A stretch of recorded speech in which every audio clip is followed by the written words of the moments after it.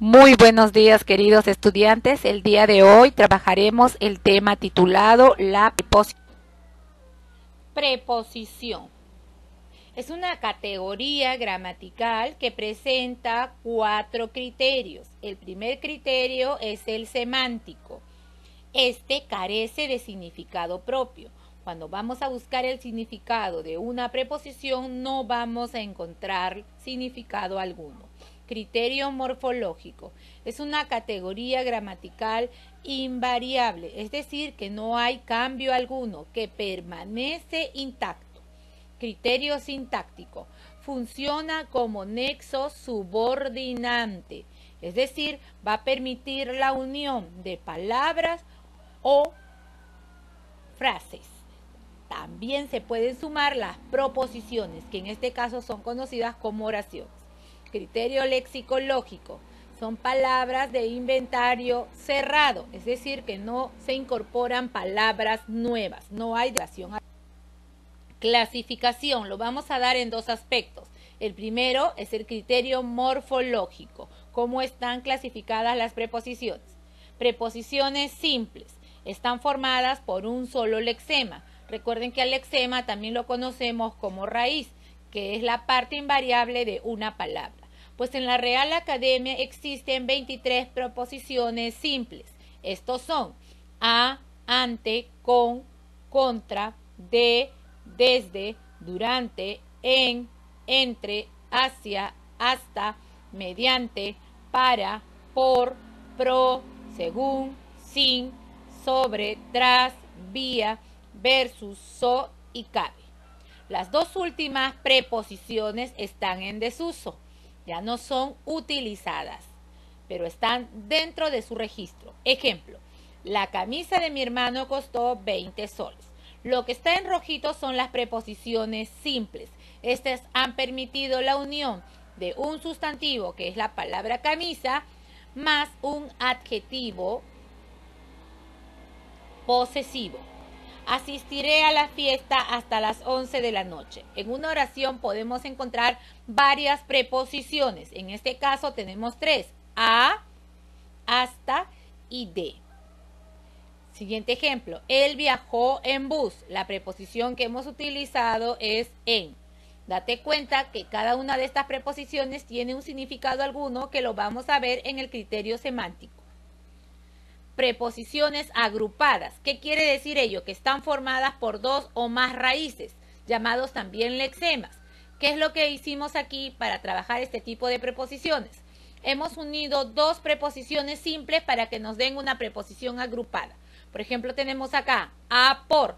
Denos cuenta, acá está la a y se ha unido con el por que está aquí para que sea una preposición agrupada. De la misma forma tenemos de por. Ya tenemos acá la preposición simple de que se ha agrupado con la otra preposición por. Entonces, así vamos a tener otras más que son de entre, desde por, para con, por de, por entre, tras de, hasta por. Ejemplo, usaré esa faja de por vida, de por. Aquí tengo la preposición agrupada. Estoy tras de ustedes, tras de. Tenemos aquí ¿no? Aquí está la preposición agrupada. Entonces ya estamos viendo la diferencia de qué es una preposición simple, que según la Real Academia son 23, y las preposiciones agrupadas que han sido la suma de dos de ellos. Locuciones preposicionales. Conjunto de palabras que funcionan como una unidad léxica. Estas están formadas por dos o más palabras. ¿Quiénes están consideradas ahí? Estos son detrás de, delante de, encima de, debajo de, enfrente de, en medio de, a través de, en compañía de. Son las locuciones preposicionales que se han trabajado. ¿ya? Pueden encontrarse en la parte inicial, central o casi al final, siempre determinando un significado alguno. Ejemplo, la pelota está debajo de la mesa. Tenemos acá la locución preposicional debajo de que lo encontramos en la parte superior. Me encuentro en medio de la multitud, en medio de. Vamos a buscar aquí, aquí está la locución preposicional. Luego tenemos se escondió detrás de la puerta, ¿ya? Tenemos acá detrás de. Como hemos venido trabajando, que se encuentra en la parte superior. Date cuenta que siempre están resaltados para poder identificarlo. ¿Quién más se encuentran acá? Las preposiciones contractas, llamadas también contracciones gramaticales. Cuando trabajamos el artículo también lo vimos. Estas están formadas por la unión de una preposición simple, recuerda de las primeras que mencionamos, y un artículo. Son dos preposiciones contractas. La primera, la A y la D son preposiciones simples, como nos dicen aquí. Y él es el artículo. Por lo tanto, la suma de ellos dos nos va a dar un nuevo contrato. A más él nos da el contrato al. D más él nos da el contrato de. Ejemplos. Fui al parque con mis hermanos. Acá está el contrato que ha ayudado para que se puedan unir dos palabras. En este caso, el verbo y un sustantivo.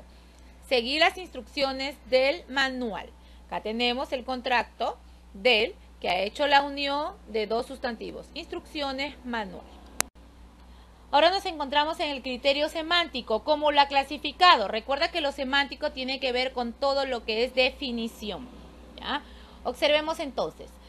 Son preposiciones simples las que estamos presentando, pero vamos a ver qué cosas significan cada una de ellas. Al tener la preposición a, pues nos dice que tiene tres significados. Puede expresar dirección, puede indicar un lugar o denota un modo. Cuando tenemos la preposición contra, señala oposición o contrariedad. En la preposición de tiene varios significados. Puede ser de pertenencia, de origen, de modo, material, contenido, materia, tiempo, causa. Entre significa en medio de cooperación. Siguiente, hasta en el fin de algo o límite del lugar. Estamos definiendo cada una de las preposiciones simples. ¿Qué es lo que significa? Para simboliza destino, tiempo y comparación. Según significa conformidad. Tras significa lugar o búsqueda. Sobre. ¿Qué significa esta preposición? Encima de, asunto, cantidad, aproximada. Ante significa delante o en presencia de. Con expresa compañía, es un significado, y el otro es indica modo, medio o instrumento. Desde señala inicio de una acción o el espacio y tiempo.